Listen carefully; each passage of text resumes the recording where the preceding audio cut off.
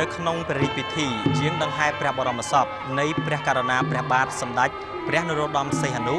ព្រះមហាវីរក្សត្រឯករាជ្យបូរណភាពទឹកដី និងឯកភាពជាតិខ្មែរពីសាធារណរដ្ឋប្រជាមានិតចិនមកកាន់ព្រះរាជាណាចក្រកម្ពុជា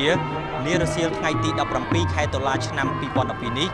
មានវត្តមានថ្នាក់ដឹកនាំនៃប្រមុខរាជរដ្ឋាភិបាលកម្ពុជា មន្ត្រីក្រសួងស្ថាប័នមន្ទីរប្រជាពលរដ្ឋទូទាំងប្រទេស បានចូលរួមក្នុងមហាទុក្ខសោកដ៏សែនក្រៀមក្រំរោគទីបំផុតគ្មានដោយព្រះអង្គបានយាងចូលទីបង្គត់នាថ្ងៃទី15ខែតុលាឆ្នាំ2012វេលាម៉ោង1:20នាទីរំលងអធ្រាត្រនៅទីក្រុងប៉េកាំង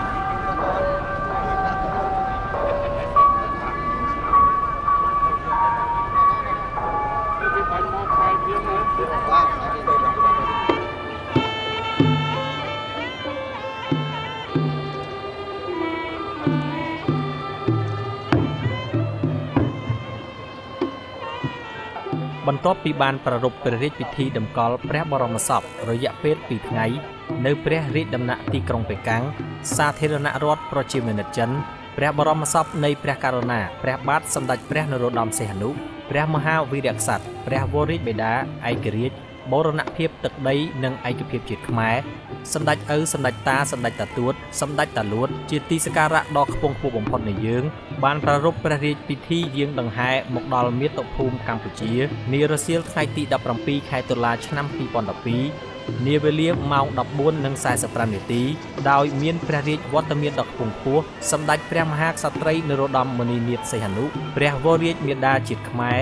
និងព្រះករុណាព្រះបាទសម្ដេចព្រះបរមនាថនរោត្តមសីហមុនីព្រះមហាក្សត្រនៃព្រះរាជាណាចក្រកម្ពុជា ជាទីសក្ការៈដ៏ខ្ពង់ខ្ពស់បំផុតព្រមទាំងមានការអមព្រះរាជពិធីដង្ហែដោយសម្ដេចអគ្គមហាសេនាបតីតេជោហ៊ុនសែននាយករដ្ឋមន្ត្រីនៃព្រះរាជាណាចក្រកម្ពុជា និងសម្ដេចជាវាវាំងគង់សំអល់ឧបនាយករដ្ឋមន្ត្រី និងជារដ្ឋមន្ត្រីក្រសួងព្រះបរមរាជវាំង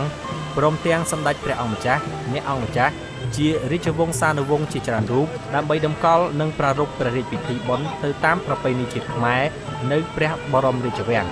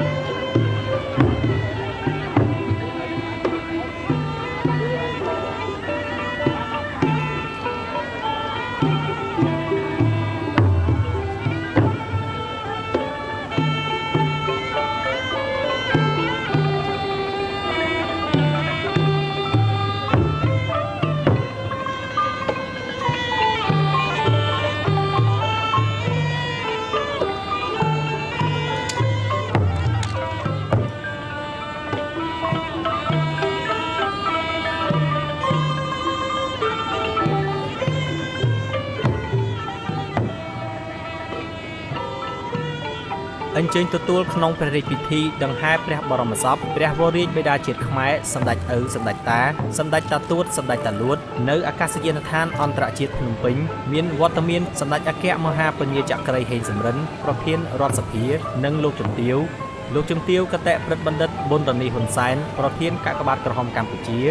សម្ដេចព្រះអង្គម្ចាស់អ្នកអង្គម្ចាស់ជារាជវង្សានុវង្សព្រមទាំងឯកឧត្តមលោកជំទាវជាឧបនាយករដ្ឋមន្ត្រីទេសរដ្ឋមន្ត្រីរដ្ឋមន្ត្រីព្រមទាំងអិសរជនជាន់ខ្ពស់ក្នុងស្ថាប័នព្រឹទ្ធសភារដ្ឋសភានិងរាជរដ្ឋាភិបាលកម្ពុជាជាច្រើនរូបដែលបានសម្ដែងនៅសមានតុក្តុកក្តួលរន្ធត់ចិត្តយ៉ាងក្រៃលែងរកទីបំផុតគ្មានព្រមទាំងក្តីសង្វេគដ៏ធំធេងនិងពោពេញដោយក្តីសោកសៅស្រណោះអាឡោះអាល័យជាអនេកបកាចំពោះព្រះអង្គដែលជាព្រះមហាវីរក្សត្រ ព្រះវររាជបិតាជាទីសក្ការៈស្មាជីវិត ដែលព្រះអង្គបានដាក់ព្រះជន្មសង្ខារលាចាក់លោកចាក់ពីប្រជានុរាស្ត្រជាកូនជាចៅចៅទួតចៅលួតរបស់ព្រះអង្គស្ថិតក្នុងឱកាសនៃមហាទុក្ខសោកនេះព្រះសង្ឃចំនួន90អង្គបានប្រារព្ធព្រះរាជពិធីបង្សកូលចំពោះព្រះបរមសពនៃព្រះមហាវីរក្សត្រព្រះវររាជបិតាជាតិខ្មែរជាទីសក្ការៈដ៏ខ្ពង់ខ្ពស់បំផុត ដើម្បីឧទ្ទិសមហាកុសល និងបួងសួងដល់ដួងព្រះវិញ្ញាណក្ខន្ធព្រះករុណាព្រះបាទសម្ដេចព្រះនរោត្តមសីហនុសូមព្រះអង្គទ្រង់យាងចាប់បដិសន្ធិក្នុងព្រះបរមសុគតិភពគ្រប់ព្រះជាតិកំបីឃ្លៀងឃ្លាតកាយជាបរិការដតីឡើយ។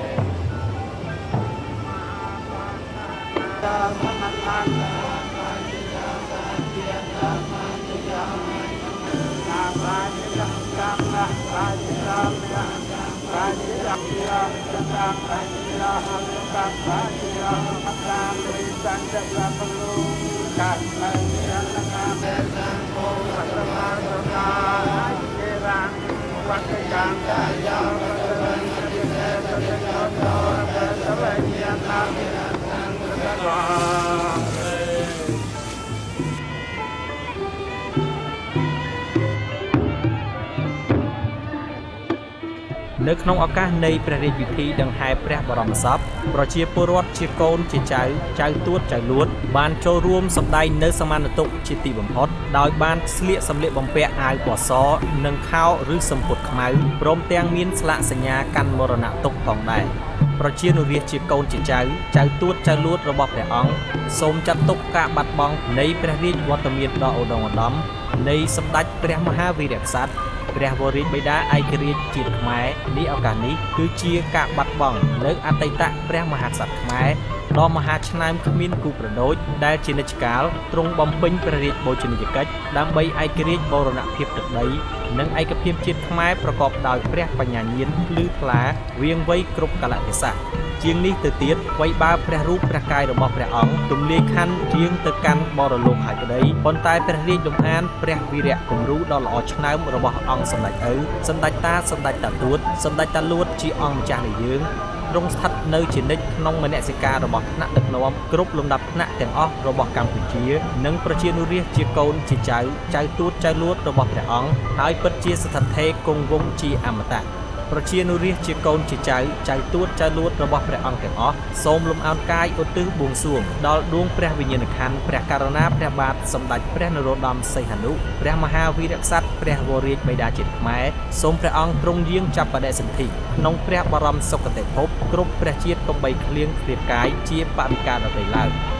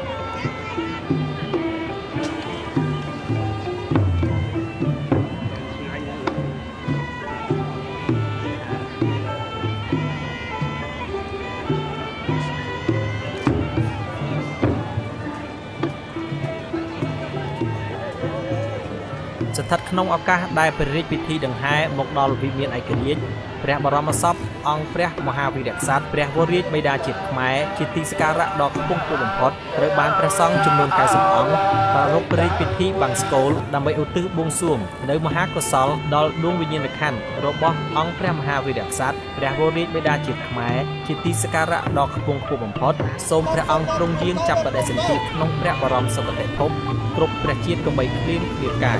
សូមព្រះអង្គទ្រង់យាងចាប់បដិសន្ធិ ក្នុងព្រះបរមសុគតិភពគ្រប់ព្រះជាតិ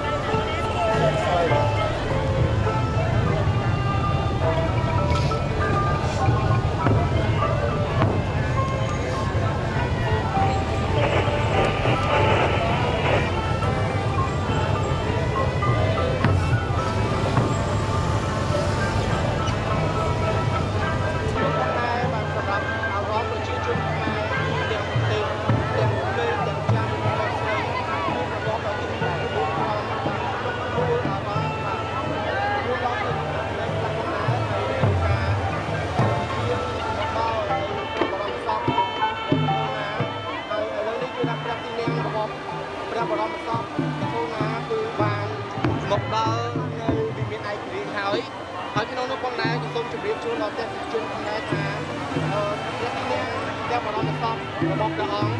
នឹងគង់រយៈពេល5នាទីដើម្បីចូលរួមការបាំងគោល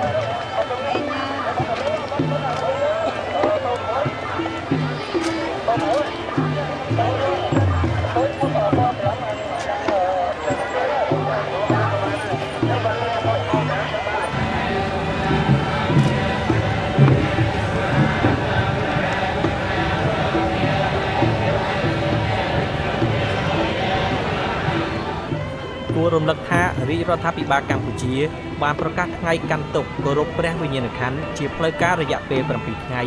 ចាប់ពីថ្ងៃទី17ដល់ថ្ងៃទី23ខែតុលាឆ្នាំ2012ដែលក្នុងរយៈពេលកាន់ទុក្ខនេះគ្រប់ស្ថាប័នរដ្ឋនិងឯកជនព្រមទាំងប្រជាពលរដ្ឋទូទាំងប្រទេសត្រូវបង្ហូតទង់ជាតិ1ភាគ3នៃដងទង់ជាតិចាប់ពីលើជាមួយគ្នានេះគ្រប់ស្ថានីយវិទ្យុនិងទូរទស្សន៍ជាតិនិងឯកជនព្រមទាំងកន្លែងកម្សាន្តសប្បាយត្រូវផ្អាកការផ្សាយទស្សនីយភាព ការសម្ដែងការប្រគំតន្ត្រីផ្សេងៗដែលមានលក្ខណៈកក្រឹកកក្រែងក្នុងរយៈពេល7ថ្ងៃនេះទន្ទឹមនេះគ្រប់ស្ថានទូតនិងស្ថានកុងស៊ុលនៃព្រះរាជាណាចក្រកម្ពុជានៅបរទេសត្រូវរៀបចំទីកន្លែងព្រះឆាយាល័ក្ខណ៍នៃព្រះមហាវីរក្សត្រព្រះវរបិតាឯករាជ្យបូរណភាពទឹកដីនិងឯកភាពជាតិខ្មែរនិងសិភៅសម្រាប់ចុះមរណទុក្ខដោយឡែកប្រជាពលរដ្ឋគ្រប់គ្រប់រូបត្រូវពាក់សញ្ញាកាន់មរណទុក្ខ និងតុបតែងសញ្ញាកាន់មរណទុក្ខនៅលើព្រះឆាយាល័ក្ខណ៍នៅក្នុងរយៈពេលកាន់មរណទុក្ខនេះដែលទាំងនេះគឺជាការកាន់មរណទុក្ខលើកទី1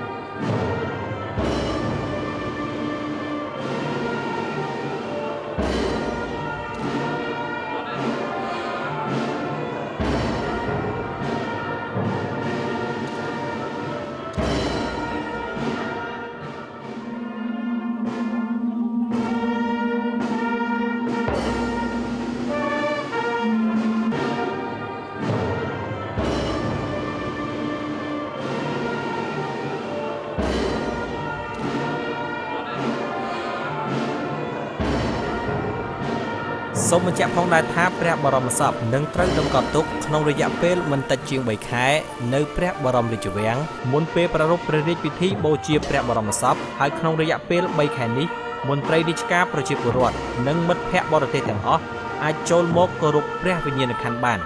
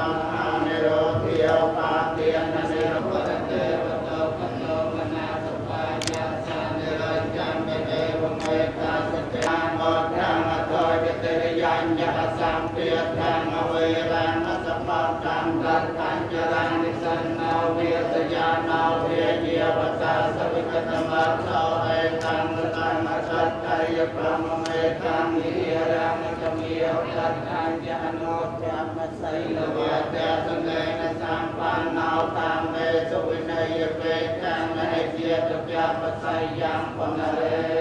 តៃទេវតសង្ឃា